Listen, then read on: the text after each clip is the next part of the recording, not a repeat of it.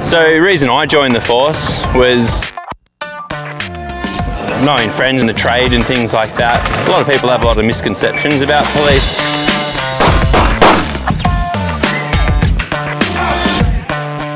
So I really wanted to try and change that for people and, and show that we're the same as them. We shop in the same shopping centres, listen to the same music, go to the same movies, enjoy all the same things. That's why I'm here. That's my biggest reason.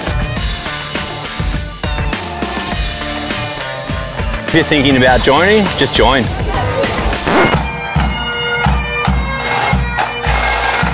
So I'm Dave, and the reason I joined is to change people's misconceptions about police.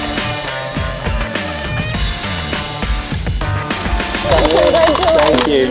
Thanks very much.